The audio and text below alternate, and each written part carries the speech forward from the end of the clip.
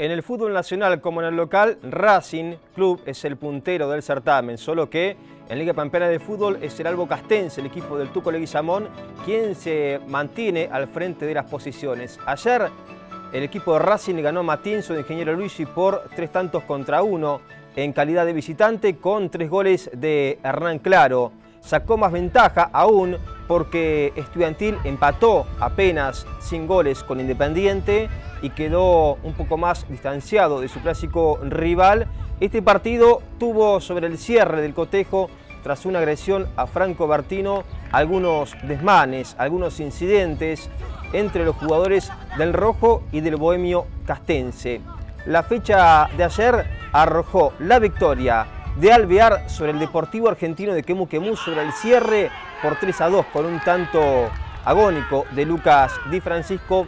Además, también eh, fue triunfo agónico de Costa Brava sobre All Boys de Trenel por dos tantos contra uno y fue triunfo de Sportivo Relicó como visitante 2 a 1 sobre Pico Fútbol. Racing ahora tiene 19 puntos, 15 para Alvear Fútbol, Nuevo Escolta, 14 unidades para Estudiantil y 13 puntos para Sportivo Relicó cuando quedan 12 por disputarse. La próxima jornada va a tener al puntero a Racing de Castex recibiendo a All Boys de Trenel. El principal escolta Alvear Fútbol va a visitar a Costa Brava, en tanto que Sportivo Ricó será local de Sportivo Independiente. Cultura Integral de Barón va a jugar frente a Estudiantil de Castex.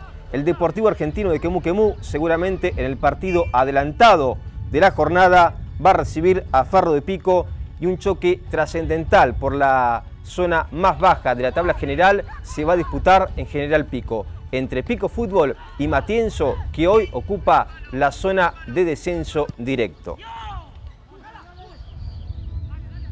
Para cerrar con el capítulo del fútbol, mencionamos, por supuesto, la importantísima victoria de Ferro en la tarde de ayer en General Serri, el conjunto verde piquense por una nueva fecha del torneo federal A de fútbol, en lo que fue el inicio de la segunda rueda, le ganó a San Sinena como visitante con la conquista de Federico Cataldi sobre los 24 minutos de la segunda parte tras un envío de Lautaro Ibarra. Ferro fue el único ganador de la tarde de ayer porque el resto de los partidos terminaron empatados. Uno de ellos fue empate en un tanto entre Sol de Mayo de Viedma y el conjunto del Deportivo Roca. Justamente Sol de Mayo va a visitar a Ferro de Pico en la próxima fecha del Torneo Federal A de Fútbol aquí en el Coloso del Barrio Talleres.